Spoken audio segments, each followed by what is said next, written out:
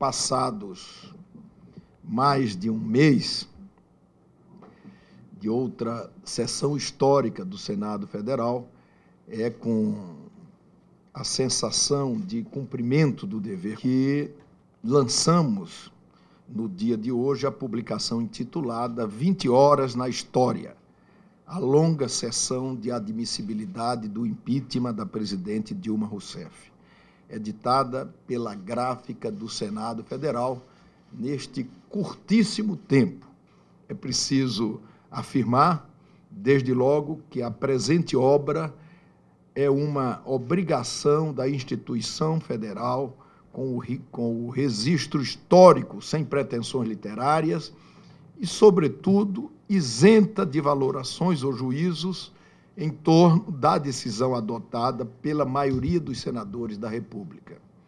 Em respeito ao contraditório, pela, do, pela devoção que temos à democracia, aqui estão, neste livro, transcritas igualmente, sem edição, como disse repito, todas as intervenções das senhoras e senhores senadores naquela longa maratona de debates que consumiu 20 horas de atenta percepção.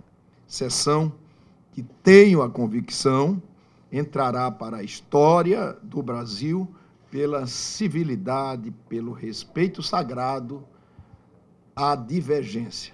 Quero e já desejava fazê-lo desde a sessão agradecer a todos, de modo especial aos servidores do Senado Federal, pelo profissionalismo observado durante todo o processo. Eu fico satisfeita de saber que os senhores senadores puderam trabalhar com tranquilidade, porque nós tivemos consciência do momento histórico, né?